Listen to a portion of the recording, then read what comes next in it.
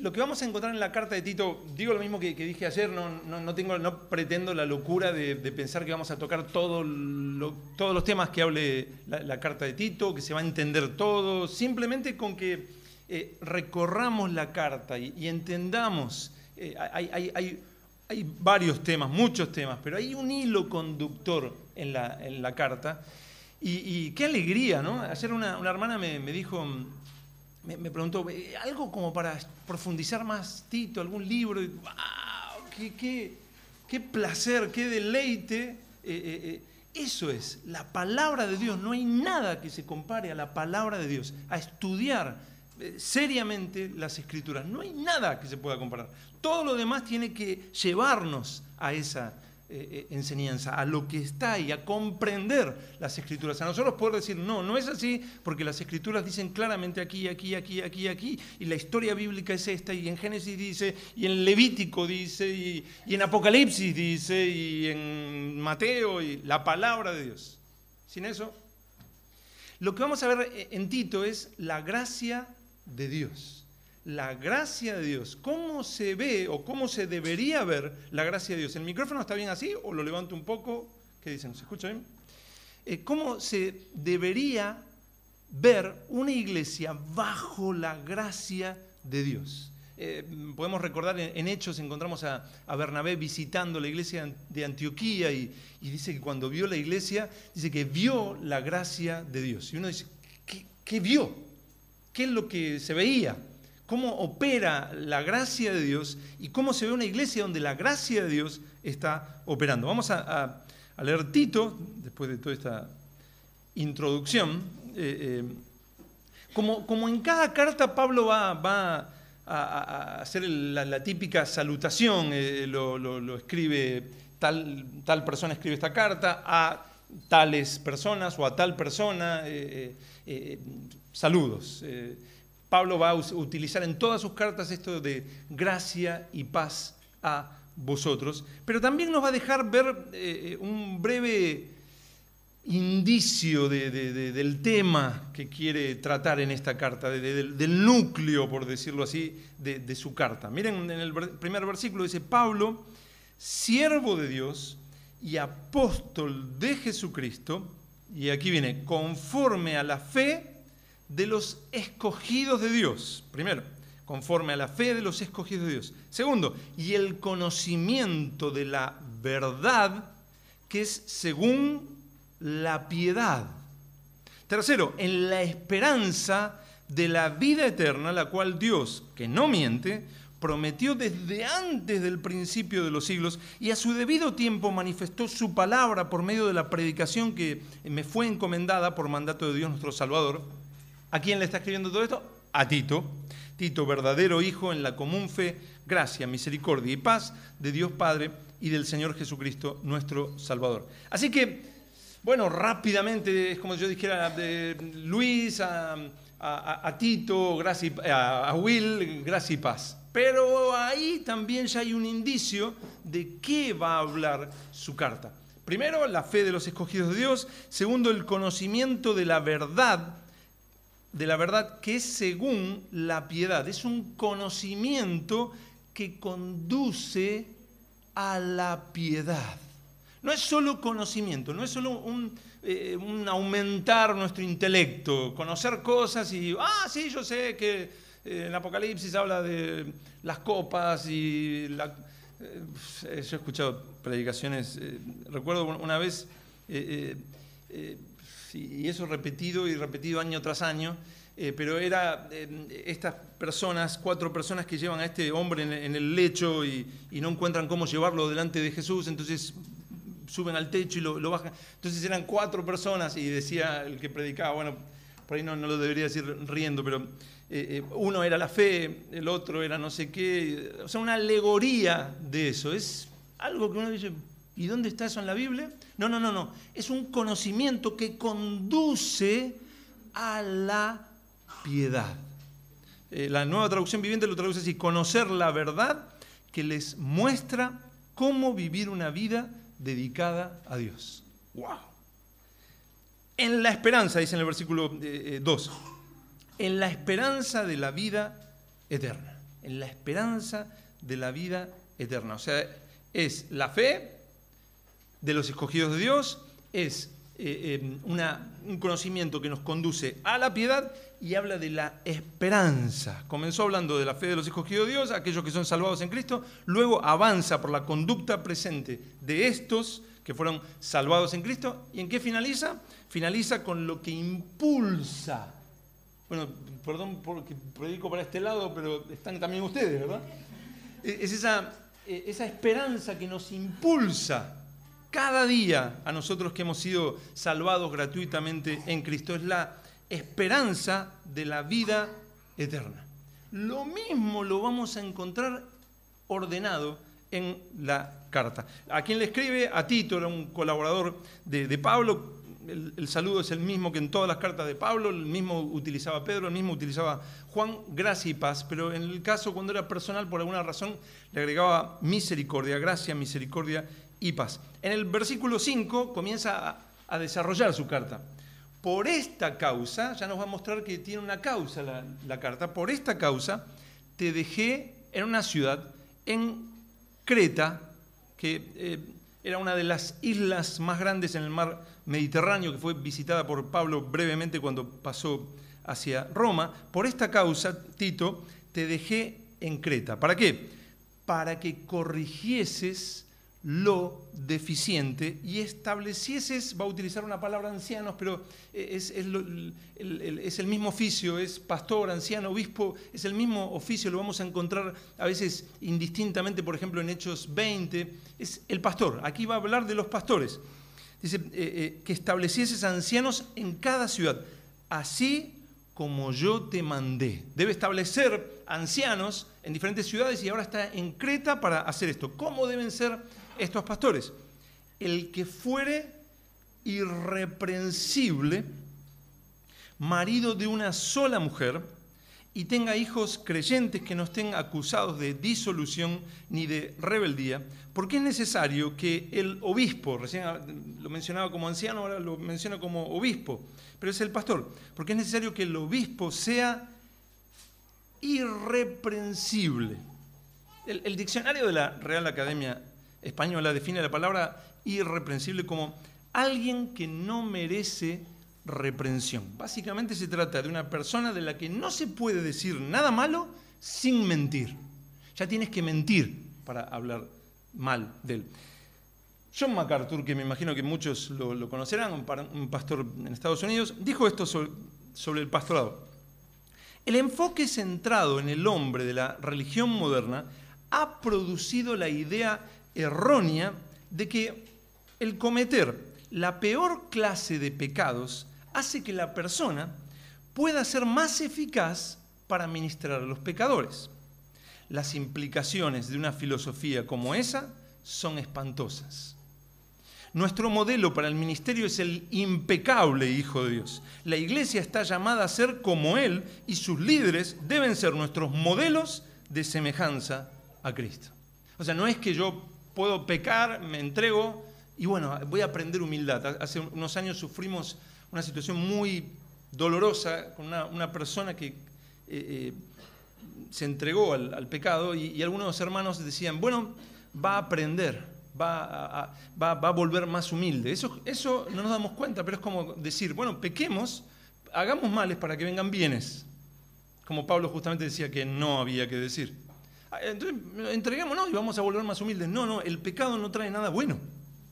Que Dios, y ahí ya podríamos hablar eh, años de, lo que hoy Will decía, de Dios obrando por encima, usando incluso la maldad, pero, pero, pero la palabra nos manda a ser santos. Y aquí nos manda a que los pastores seamos irreprensibles, a ser un ejemplo para la congregación. Bueno, me acordaba eh, cuando hablaban de cuando Will hablaba de, Guzmán y, su esposa, eh, me acordaba cuando John Bunyan decía que el, esposo debe ser una predicación de Cristo para la esposa. Y, el, pastor debe ejemplificar, debe mostrarnos con su vida una predicación viviente. Claro, vaya tarea, ¿no? Pero bueno, es algo que uno lo asume o no. Y, va progresando y va madurando y va madurando. Entonces nos habla primero de ser irreprensibles como administradores de Dios, no soberbio. no iracundo, no, no, no alguien que, de repente se, enoja y que basta y que se acabó y aquí se hace lo que yo digo. No, no dado al vino, no pendenciero, no, no alguien que anda peleando no codicioso de ganancias deshonestas, sino hospedador, amante de lo bueno, un hombre piadoso que ama el bien, que ama lo bueno, un hombre entregado a la piedad, a la devoción a Dios. Eh, eh, amante de lo bueno, sobrio, justo, santo, dueño de sí mismo. No un hombre dominado por sus pasiones, dueño de sí mismo. Retenedor de la palabra fiel. Esa, palabra que utiliza ahí eh, en el, en el griego significa mantenerse firmemente adherido a la palabra fiel, tal como ha sido enseñada. No nos inventamos a ver qué vamos a, enseñar. No, Cristo, Cristo le dio la doctrina, le dio la enseñanza a sus apóstoles. Esos apóstoles obedecieron Mateo 28 del 18 al 20, la entregaron a la iglesia, y eso es lo que algunos llaman tradición, la tradición oral y la tradición escrita, o sea, lo que en griego es paradosis, es lo que le entrega Jesús a sus apóstoles, los apóstoles lo entregan a la iglesia y nosotros estamos aferrados a eso adheridos a eso, y eso es lo que enseñamos, por supuesto, eso incluye el Antiguo Testamento, porque cuando leemos el Nuevo Testamento, la enseñanza de los apóstoles, continuamente hace referencia al Antiguo Testamento. Así que está adherido, está aferrado a eso, tal como ha sido enseñada, para que también pueda exhortar con sana enseñanza y convencer a los que contradicen. Así que aquí tenemos, primero, una muestra, como la primera muestra de, la piedad, que el liderazgo de una congregación, por llamarlo de alguna manera, los pastores sean ejemplo en la congregación de piedad.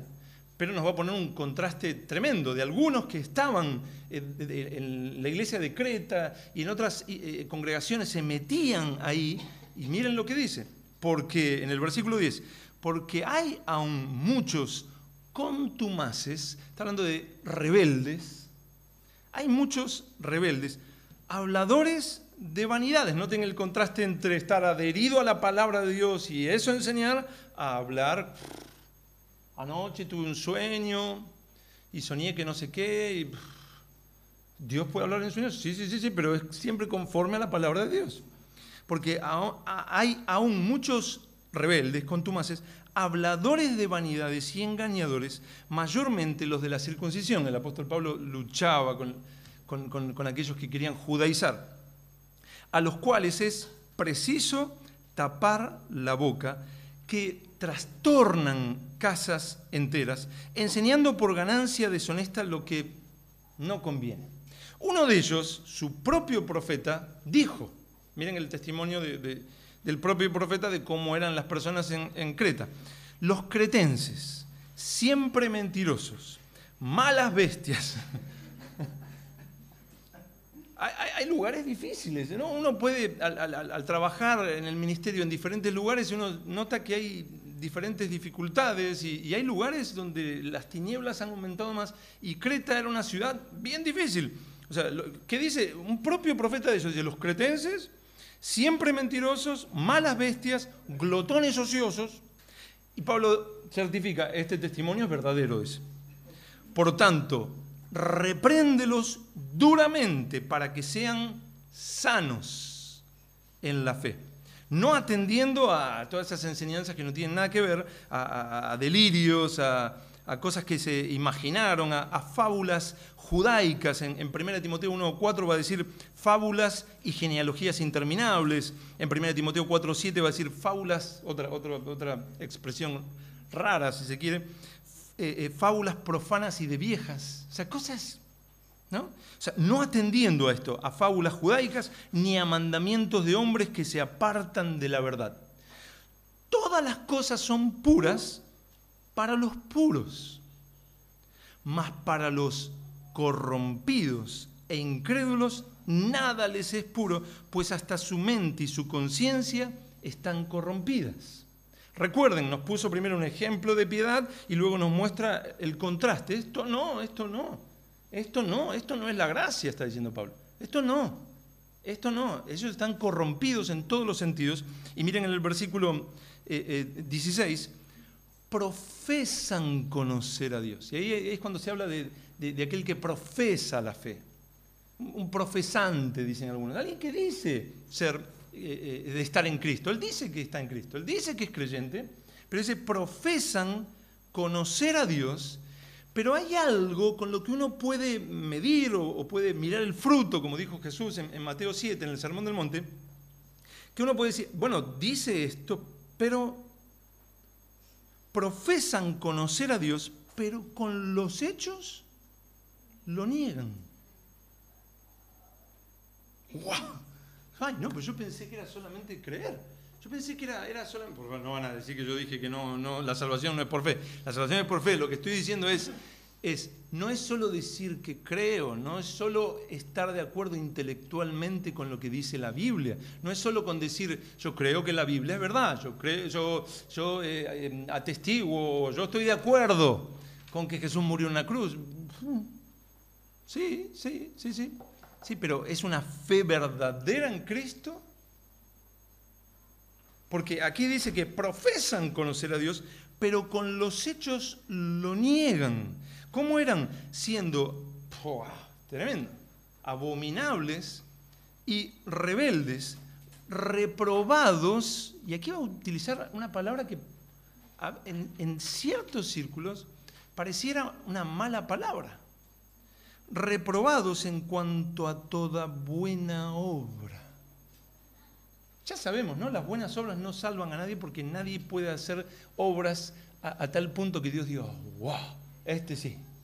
¿No? O sea, no somos salvos por obras, pero como una hermana ayer bien decía, sí somos salvos para obras, Efesios 2.10, que dice, somos hechura suya, creados en Cristo Jesús, para buenas obras. No es una mala expresión buenas obras. Es una mala expresión si yo pienso que voy a lograr en algún momento algún tipo de, virtud que me va a dar el cielo. Pero una vez que esta gracia está operando en mí, una vez que, eh, lo que todo lo que hablamos ayer está operando en mí, hay un, un cambio de vida. Ya no solamente digo que creo, sino que mi vida testifica un milagro. Es un milagro, es imposible. Pero uno lo, ve y dice, wow, es Dios. Claro, es Dios. Entonces, primero nos, puso un ejemplo de piedad, de cómo deben ser aquellos que guían una congregación, y luego nos muestra cómo no. ¿Cómo no? Dice, ellos están reprobados en cuanto a toda buena obra.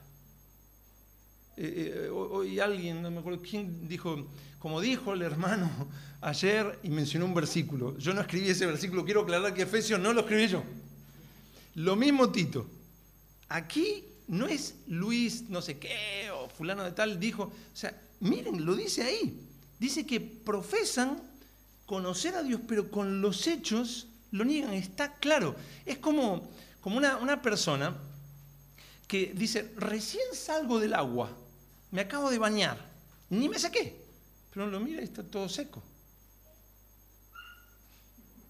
Raro, ¿no? O sea, yo cuando me meto al, mar, salgo y estoy todo mojado.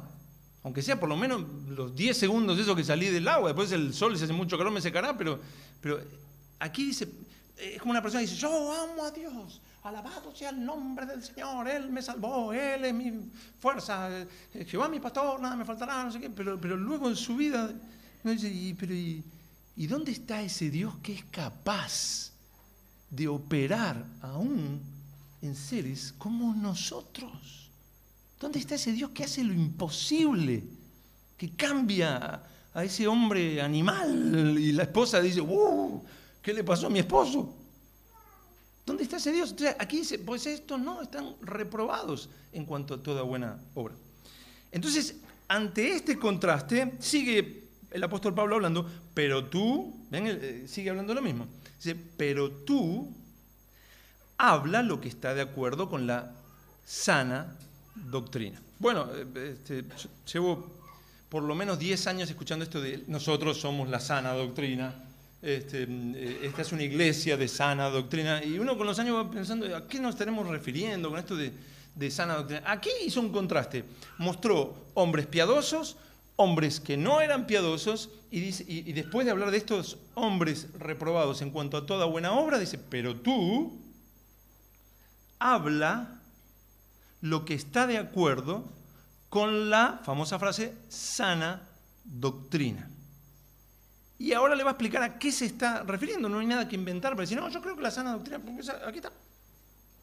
Que los ancianos, y ahora ya no va a utilizar el término anciano como para pastor, lo va a utilizar como recién hablaban de, Guzmán y, su esposa, el hermano Guzmán y su, esposa, de hermanos mayores, de, hermanos que ya llevan tiempo en el Señor y cuya edad ya, es para tener en cuenta, eh, eh, se refiere a los hermanos mayores, maduros en la fe, en la congregación.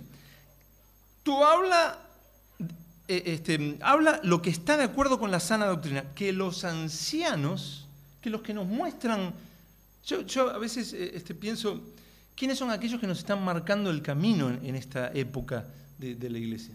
Bueno, tienen que ser aquellos hermanos maduros, aquellos hermanos que uno puede escucharlos y, eh, por supuesto, Dios llama a pastores jóvenes como nosotros.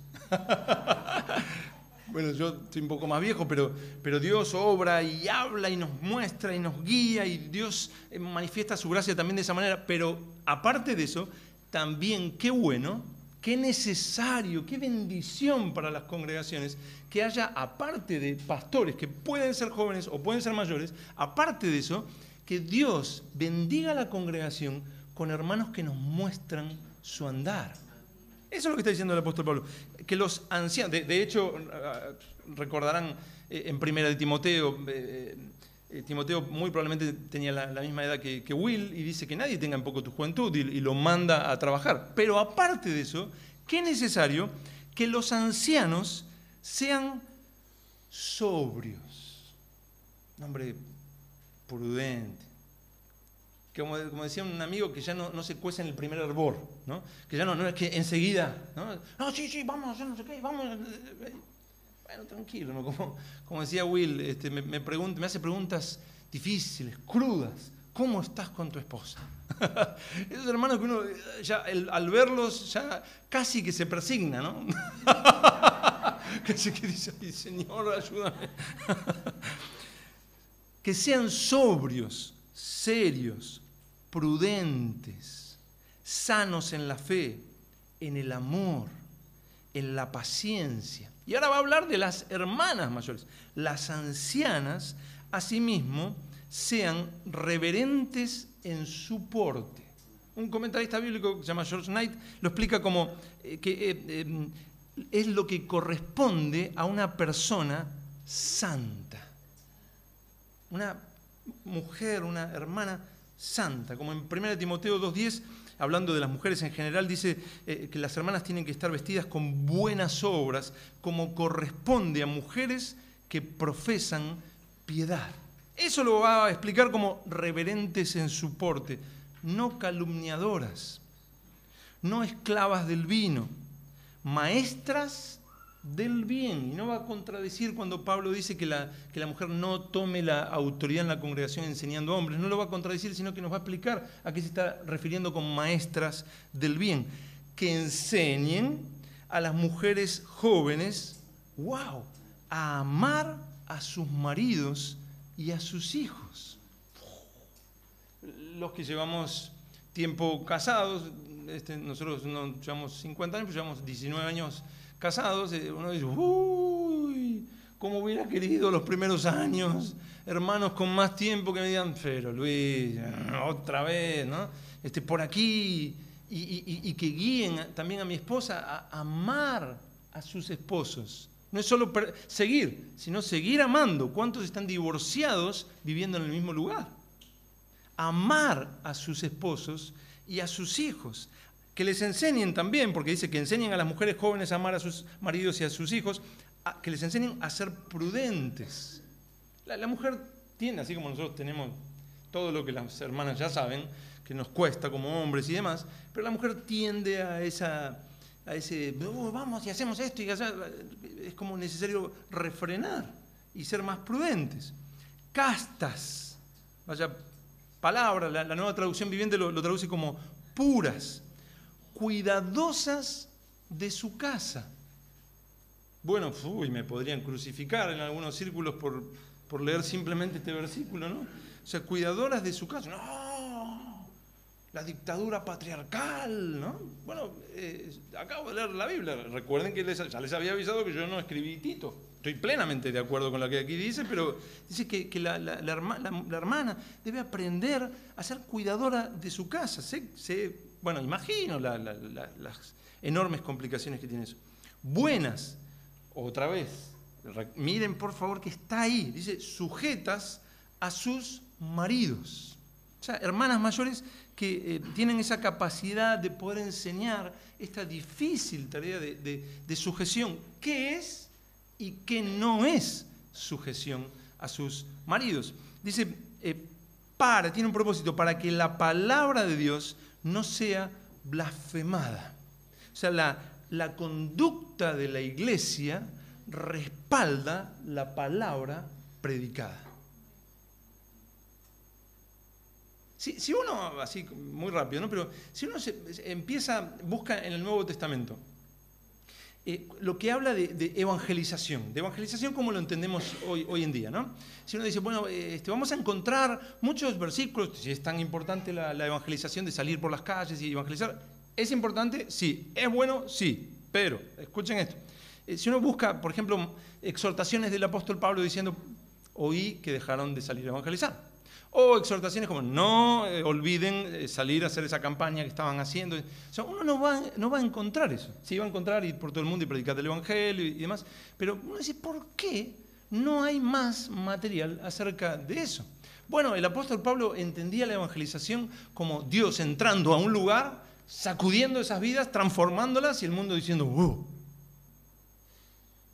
Eso que sucedía en la iglesia era la mayor evangelización que podía existir y luego cada uno en su vida predicaba el Evangelio, por supuesto porque no existe salvación sin la predicación del Evangelio. Entonces aquí dice, para que la palabra de Dios no sea blasfemada. No solamente se queda con, los, los, ancianos y las ancianas, sino luego un grupo de, de, personas que algunos dicen, oh, estos sí que son difíciles, los jóvenes. Para mí todas las edades son un milagro. Y aquí en el versículo 6 dice, exhorta a sí mismo a los jóvenes. Y uno dice, wow, qué fe tenía el apóstol Pablo, ¿no? Porque dice, exhorta a sí mismo a los jóvenes a que sean prudentes.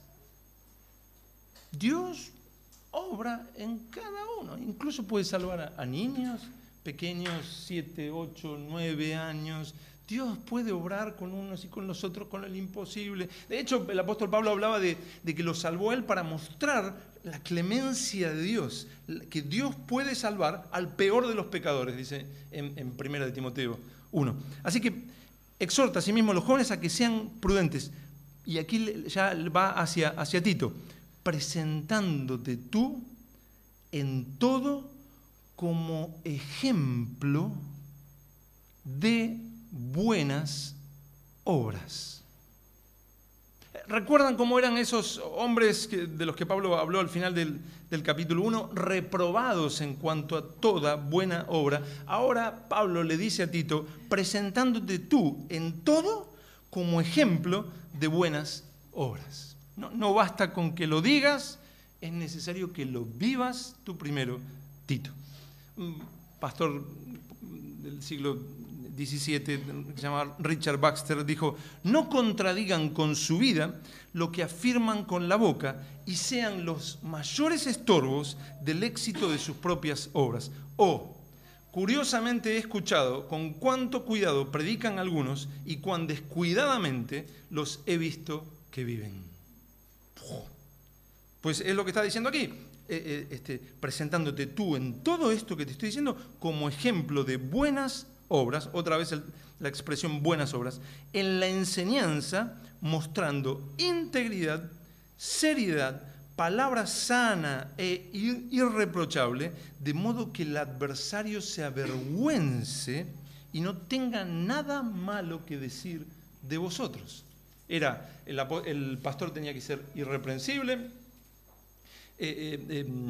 em, las, hermanas tenían que ser prudentes y, demás para que la palabra de Dios no sea blasfemada, y ahora nos dice que la conducta de, Tito también tiene que acompañar esta predicación para que el adversario se avergüence y no tenga nada malo que decir de vosotros. Y ahora va a hablar de, un grupo de personas que lo podríamos entender eh, por, la época como, como, un empleado, en cierta manera, aunque está hablando del siervo, del amo, pero lo podemos llevar a, nuestro tiempo de trabajo. Exhorta a los siervos a que se sujeten a sus amos, que agraden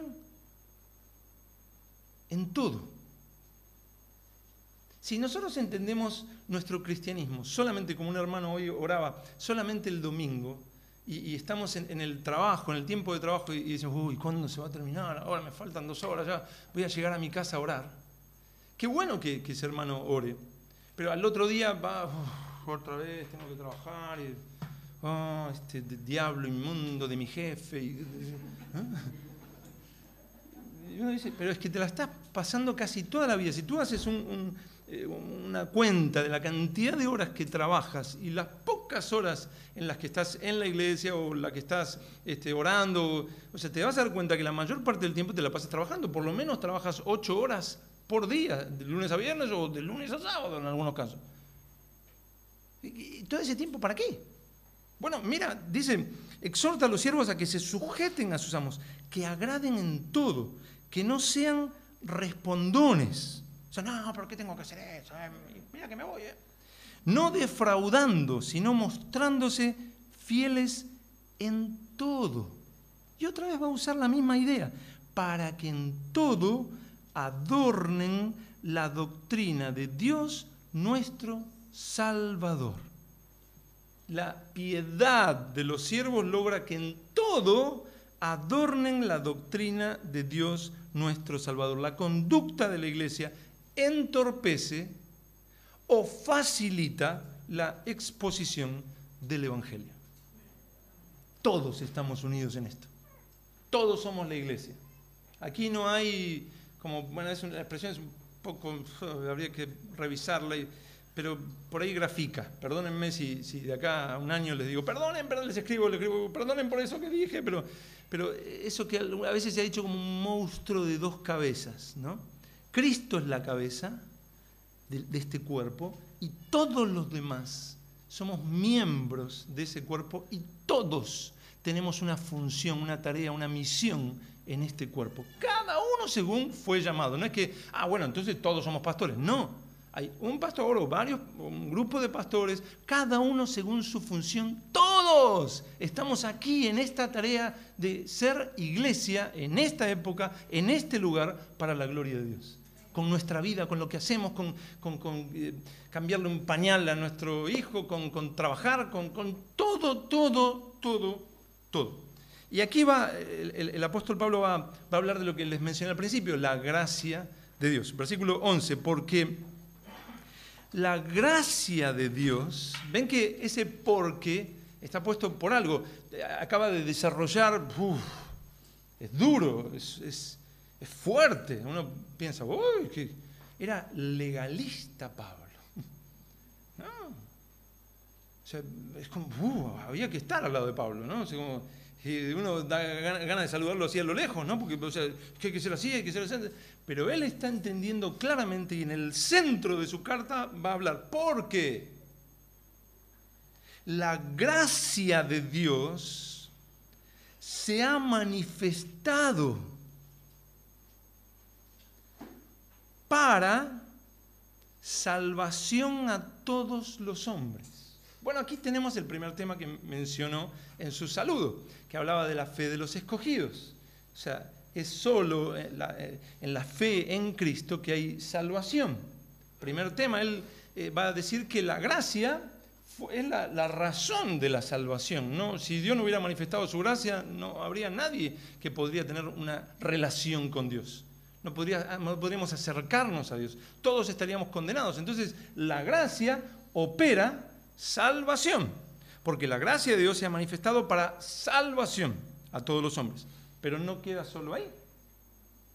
Porque segundo, va a hablar de lo que dijo en el saludo cuando dijo, eh, cuando habló del conocimiento que conduce a la piedad, que es según la piedad. Miren, la gracia eh, de Dios se ha manifestado para salvación a todos los hombres, enseñándonos la gracia de Dios, esa es la, la razón, lo que está detrás de que Dios está sigue actuando en nosotros. No solo nos salvó de lo que éramos y cómo éramos, sino que esta gracia sigue operando en nosotros que estamos en Cristo, enseñándonos que renunciando a la impiedad y a los deseos mundanos, vivamos en este siglo, está hablando de esta era, de esta era antes de este, lo que las escrituras llaman este presente siglo malo, antes de la era venidera, eh, vivamos en este siglo sobria, justa y piadosamente. Así que primero la gracia de Dios se manifiesta salvándonos. Segundo, la gracia de Dios, una vez que nos ha salvado, se manifiesta operando en nosotros, obrando en nosotros, enseñándonos, el Espíritu Santo trabajando en nosotros, nos, lleva, nos enseña, nos capacita, nos da el deseo, nos, da el anhelo. ¿Qué queremos hacer? Pues dice, renunciando a la impiedad y a los deseos mundanos, vivamos en este siglo sobria, justa y piadosamente. Por supuesto no estoy hablando de, hay una doctrina que es el, el perfeccionismo, de que uno llega un momento que ¡pum! Es perfecto. No, eh, como, como sé que enseñó Will, la, santificación es, porque un hermano ya me lo mencionó, eh, la santificación es progresiva. Dios va obrando, va obrando, pero el deseo y la fuerza de Dios en ese creyente va operando, operando, operando, operando, operando, operando esa, esa transformación. Eso que uno dice, es Dios, es Dios, es Dios, es Dios, es Dios, es Dios. Y no solo queda ahí. Este creyente en el cual se ha manifestado la gracia de Dios, tercero, lo mismo que hizo en su saludo, dice, aguardando la esperanza bienaventurada y la manifestación gloriosa de nuestro gran Dios y Salvador Jesucristo. Cuando la gracia se manifiesta, este creyente está aguardando algo, la esperanza bienaventurada. La, salvación no termina en el perdón de pecados por la obra de Cristo en la cruz. Es la única entrada al Padre y por ende la única entrada a esta esperanza, la única, pero no termina ahí esta gracia que se manifiesta. La misma gracia transforma nuestra vida, va trabajando nuestra vida para la gloria de Dios, para que le glorifiquemos con nuestras vidas aquí y la misma gracia opera en nosotros lo que expresa este versículo 13, aguardando la esperanza bienaventurada y la manifestación gloriosa de nuestro gran Dios y Salvador Jesucristo. En esa persona hay un anhelo ferviente que supera aún el conseguir un mejor trabajo, supera el, anhelo de cambiar de coche, supera eh, eh, el anhelo de que llegue ese momento donde por fin, eh, ese momento glorioso, histórico, en el año en que llegan las vacaciones. Supera eso. Supera de, cambiar, de ese momento que se va a comprar un móvil versión 15, el iPhone versión 15, no, existe, pero quiero... Supera, supera incluso, increíble, pero supera en el soltero, supera aún ese anhelo lícito de, eh, que anhela casarse. Lo supera.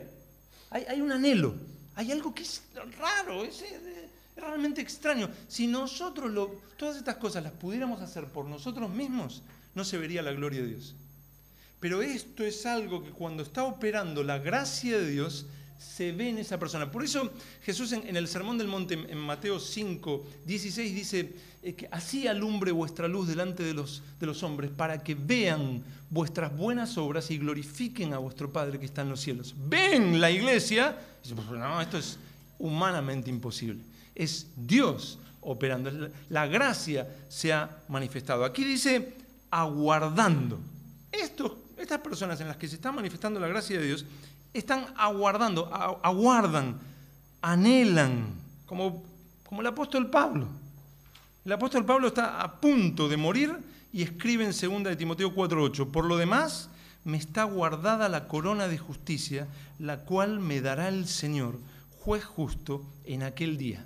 Y hasta aquí podemos pensar, bueno, esto es solo para, eh, para el apóstol Pablo, esta, esta corona de justicia va a ser solo para él. Pero el apóstol Pablo agrega, y no solo a mí, con lo cual podemos pensar que incluye a, todo el mundo, a todos, y en cierta manera incluye a muchos, pero las palabras de, de Pablo incluyen a todos los que tienen cierta característica.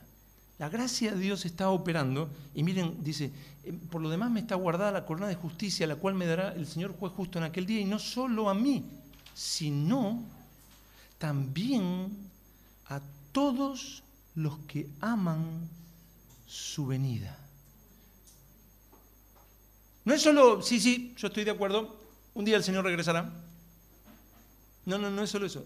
hay, un, amor, hay una pasión, hay un anhelo, hay, hay, algo que te impulsa. Que tú dices, no, no, no, no, no, no, ¿para qué quiero la gloria de este mundo si todo esto va a aparecer? Estoy buscando una gloria mayor y es la gloria que viene del Dios único, como dijo Jesús. Estoy buscando el reino de los cielos porque eh, eh, si no soy como los gentiles lo, va a decir Jesús en el, Sermón del Monte, aquellos que no conocen a Dios, sino que nosotros buscamos primeramente el reino de Dios y la justicia que vendrá con el reino de Dios, donde Dios va a poner todo en su lugar. Esto es en lo que, que está operando la gracia de Dios. Ellos aman la venida, aguardan esta venida. Es un milagro. Y en el versículo 14 dice, hablando de Jesucristo, porque la última eh, eh, palabra que, que aparece en el versículo 13 es Jesucristo, quien se dio a sí mismo por nosotros para redimirnos de toda iniquidad y purificar para sí, la iglesia es para Él, nosotros somos para Él, purificar para sí un pueblo propio, celoso de buenas obras. Otra vez la expresión buenas obras. La voluntad de Dios es que formemos congregaciones celosas de buenas obras. Aquellos hombres en, en Tito 1.16 profesaban conocer a Dios, pero con sus hechos lo negaban. La gracia genera creyentes celosos de buenas obras. Y, le dice el apóstol Pablo a, Tito, luego de, de todo esto, esto habla y exhorta y reprende con toda autoridad. Nadie te menosprecia. Ah, ¿tú quién eres? ¿Y por qué dices esto? ¿Quién te crees que eres? ¿Eres más joven? ¿Eres más viejo? ¿Eres más blanco? ¿Eres más negro? ¿Eres más amarillo? ¿Eres más no sé qué? No, no, no. O sea, esta es la enseñanza apostólica. Esto habla y exhorta y reprende con toda autoridad. Ya lo vimos que también con paciencia, con amor, con misericordia, con, pero con la autoridad de que lo que estamos diciendo no es una idea de nuestra denominación, de nuestra congregación, de el pastor fulano o que lo leí en tal libro, sino que es la enseñanza que Jesús le entregó a los apóstoles. Recuérdales, en el, último capítulo, recuérdales que se sujeten, o sea, que, que, esto también es parte, recuérdales que se sujeten a los gobernantes y autoridades, que obedezcan, que estén dispuestos a, otra vez, que estén dispuestos a toda buena obra. Otra vez buenas obras. ¿Querrá decir algo? Que a nadie difamen que no sean peleones por ahí, ¿no? Es fácil andar matando los pecados de otros, pero es más difícil pelear, con los nuestros, ¿verdad? Eh, que a nadie difamen, que no sean pendencieros, sino amables, mostrando toda mansedumbre para con todos los hombres. Porque nosotros también, notemos el tiempo pasado, éramos en otro tiempo insensatos, rebeldes, extraviados, esclavos de concupiscencias y deleites diversos, viviendo en malicia y envidia, aborrecibles y aborreciéndonos unos a otros. A otros. Ahora el contraste no es entre eh, cómo debe ser el pastor y aquellos hombres de Creta que eran muy difíciles. Ahora el contraste es entre lo que debemos ser y lo que éramos. Pensémoslo cada uno un momento que es lo que está diciendo ahí. Está poniéndonos ejemplos de piedad y luego nos está dando un contraste, lo que éramos antes de que esta gracia se haya manifestado. éramos rebeldes, éramos extraviados, éramos, bueno, usa una expresión que no, no va a ayudar mucho a la autoestima, porque dice que éramos aborrecibles. Y lo éramos. Pero, como, como vimos ayer en, Efesios 2.4, que pero Dios, pero Dios. Y aquí en, el, el versículo 4, pero cuando se manifestó la bondad de Dios, nuestro Salvador, y su amor para con los hombres, nos salvó. No por obras de justicia que nosotros hubiéramos hecho, aquí están, no somos salvos por obras, no por obras de justicia que nosotros hubiéramos hecho, sino por su misericordia, por el lavamiento de la regeneración. Él, nos regeneró, nos hizo nacer de nuevo, operó en nosotros, estábamos muertos en delitos y pecados y Él nos resucitó a una nueva vida. No, no, no la resurrección final, sino es un anticipo de, esa resurrección, eh, eh, por el lavamiento de la regeneración y por la renovación en el Espíritu Santo el cual, ¿a quién se está refiriendo ahí? Dice, por la renovación en el Espíritu Santo, el cual, el Espíritu Santo, derramó en nosotros, el, hermano que, ayer me preguntaba, ¿esto, esto se puede vivir? ¿Hay un efecto cuando estamos llenos del Espíritu Santo? Miren, dice, el cual derramó en nosotros abundantemente. Por Jesucristo nuestro Salvador. No, podríamos ganar esto jamás. No lo podríamos mantener esto jamás. No podríamos conseguirlo esto jamás. Siempre es en Cristo, en Cristo. Padre, perdóname, eh, en Cristo.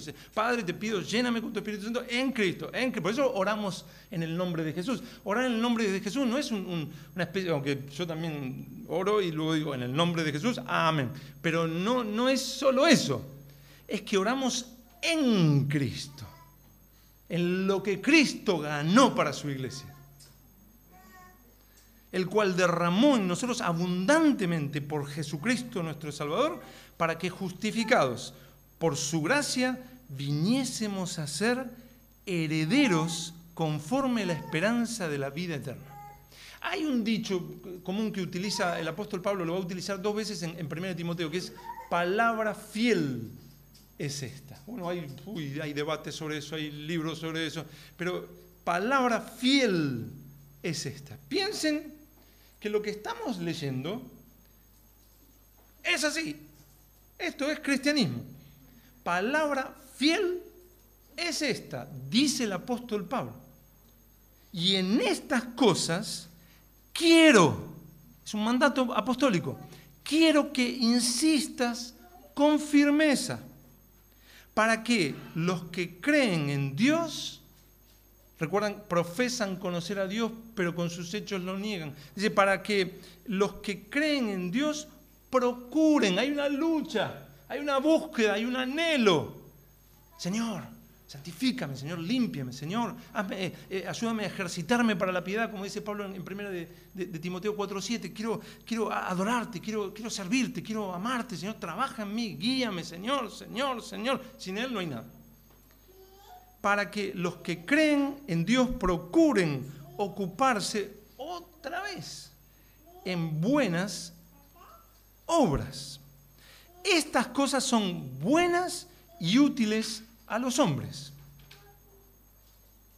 Yo, a veces he escuchado predicaciones que, uno dice, está agarrado, y no, no estoy hablando de, aquellos allí tan lejos, tan lejos, tan lejos, que, no se habló de que Dios durmió, mientras dormía tuvo un sueño y vio una vaca volando, y no, no, no estoy hablando de eso, sino a veces como esas doctrinas de, de la perestumidización del entotoplasma del corocito, y uno dice, O sea, ¿qué, qué, qué, a qué vamos? Cuando aquí el apóstol Pablo va a hacer un contraste, que va a decir, cuidado con esas enseñanzas que, que, levantan o, encienden el orgullo intelectual, pero mm, yo quiero que insistas en estas cosas, Pablo, eh, Tito. Estas cosas son buenas y útiles a los hombres. No, no, hermano, si todo esto te, desanima, es que no lo estás terminando de entender. Y ese será el trabajo luego de, Will de levantarles después que yo me voy tranquilo.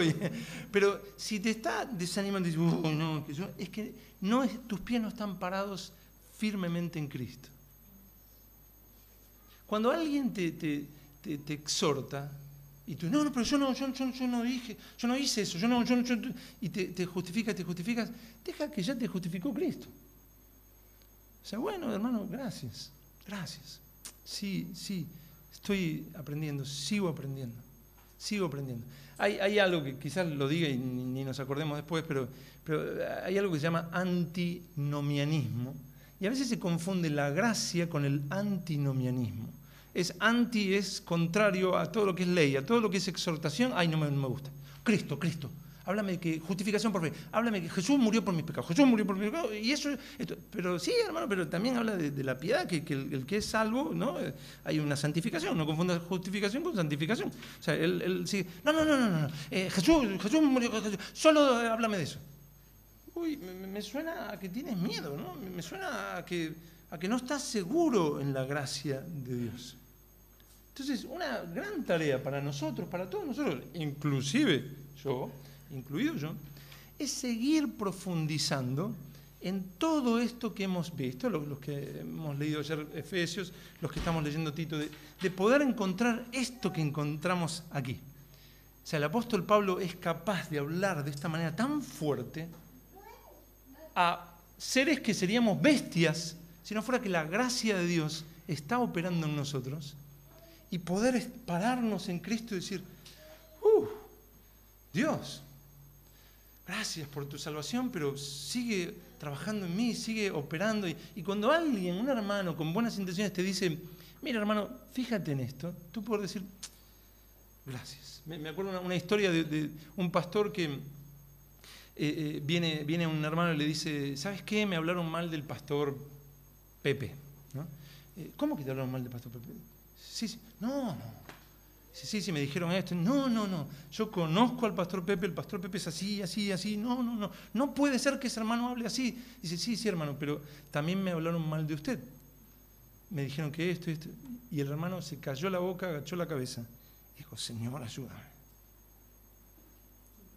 Señor, me voy a examinar, voy a aprender, porque estoy parado en Cristo mi identidad está en Cristo, y si alguien piensa algo malo de mí o lo que sea, voy a intentar aprender porque mi salvación no se va a mover. No, no, no, es que voy a decir, ay, que ya no soy salvo.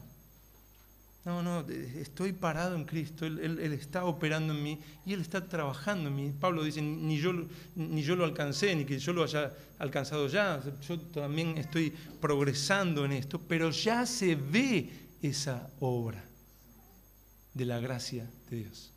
Entonces el, apóstol Pablo dice, hermano Tito, ama a la congregación, ámala, ámala, insiste en estas cosas. Esto es amor para tu vida, amor, amor para tu vida, para que seas esa rama, ese pámpano que da fruto.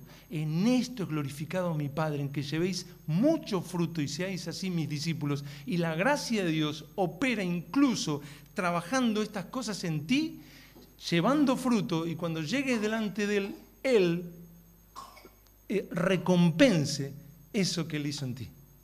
Gracia pura, gracia plena.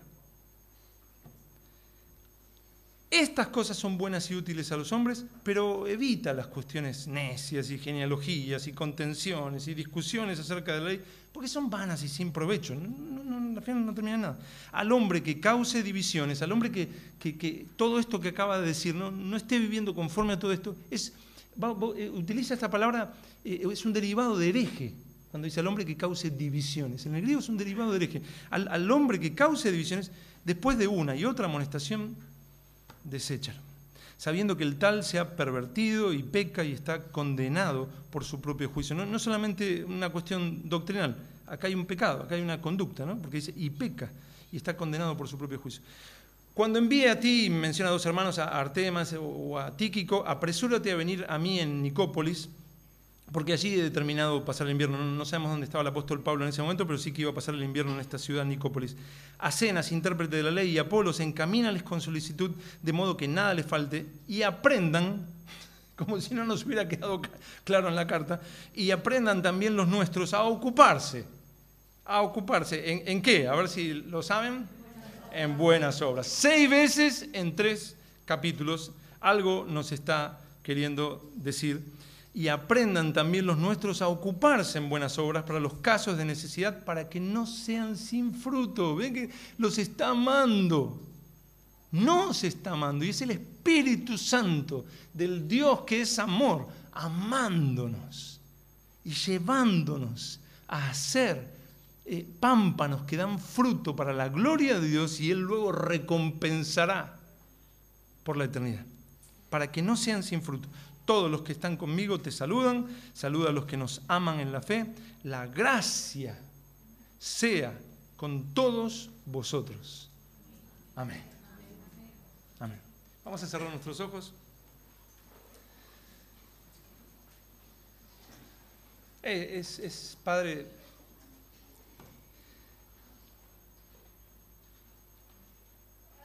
privilegio, un privilegio tan grande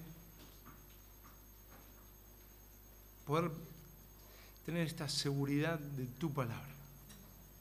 Tu amor se ha manifestado y ha guardado tu palabra, tal como la tenemos. Es tu misericordia para nosotros. Que tus palabras den fruto en nuestras vidas para vida eterna, para la mayor calidad de vida que pueda existir, para amarte con todo nuestro corazón, toda nuestra fuerza, alma, mente. Confirma tu palabra en nuestras vidas. Gracias, Señor. Gracias por este regalo de, estar aquí, Señor. Gracias. En el nombre de Jesús. Amén.